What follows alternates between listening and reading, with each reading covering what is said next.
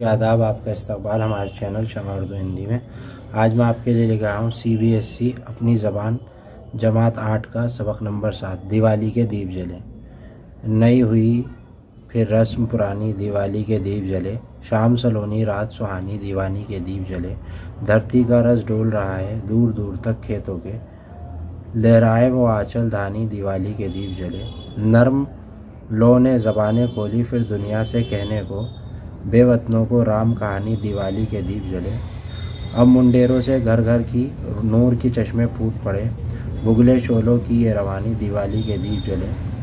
चलते दीपक रात की दिल में खाव लगाते जाते हैं। शब का चेहरा नूरानी दिवाली के दीप चले शेर की साजे नशिस्त चिरागा आज फराग सुनाते हैं। गम की कथा खुशी की जुबानी दिवाली के दीप चले विराग गोरखपुरी की और इसके अल्फाज मानी यहाँ पे आप देख सकते हैं। ये अल्फाज मानी है, जैसे सलोनी, सानोली, नूर, रोशनी, घाव, जख्म अंडेर सर, दीवार दीवार का ऊपरी सा रवानी, बहाव, खता कहानी दास्तान। दानी, जर्दी लिए हुए सब्ज रंग हल्का सब्ज, नूर से भरा हुआ रोशन चमकता, नाजिश ये सारी। और इसकी तशरी भी है। आप इसकी अगर तशरी लिखना चाहते हैं तो तशरी भी लिख सकते हैं यहाँ से देखिए तशरी भी बहुत अच्छे से इसके अंदर है। बहुत सारे बच्चों को तशरी चाहिए होती है तो आप तशरी ले सकते हैं इसमें से। ठीक है? और पीडीएफ भी इसमें मैं अपलोड कर दूँगा, अगर टाइम मिला मुझे। ठीक है? वरना आप इसमें से देख के कर लीजिएगा। और मशकी सवाल हैं। जैसे धानी आँचल की लहराने से क्या खुशी के मौके पर हरे भरे खेत ऐसे मालूम हो रहा है जैसे धरती धानी आँचल लहरा रही हो। चिराग की लो दुनिया से क्या कहने चिराग की लो दुनिया से राम कहानी या राम की दुख भरी दास्तान कहने मुंडेरों पर नूर के चश्मे किस तरह फूटे?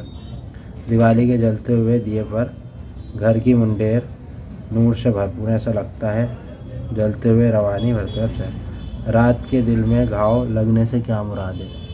ठीक है तो ये सारे आप देखेंगे सवाल। मिसरे मुकम्मल कीजिए भाई, मिसरे यहाँ पे ये दे रखे हैं तो इनको मुकम्मल करना है पीछे हुए हुए हैं। नीचे लफ्ज़ों को अपने जुमलों में इस्तेमाल करना है तो यहाँ पे आप जुमलों में इस्तेमाल इन्हें कर लेंगे।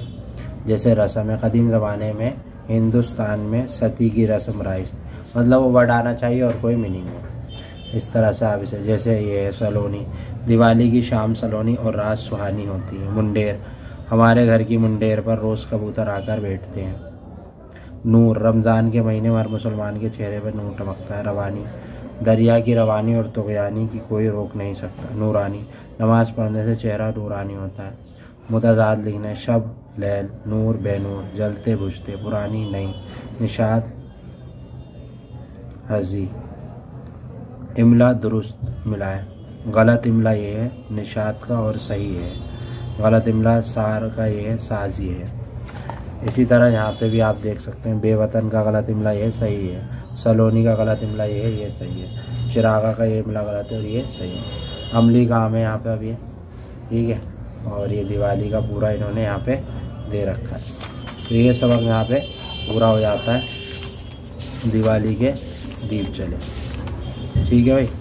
तो उम्मीद है कि आपको ये समझ में आ गई होगी। वीडियो पसंद आए तो प्लीज़ लाइक करें चैनल से जुड़े रहें और अगर कोई भी किसी तरह का डाउट है आपको तो आप मुझसे कांटेक्ट कर सकते हैं। डिस्क्रिप्शन में मेरा नंबर भी है। शुक्रिया।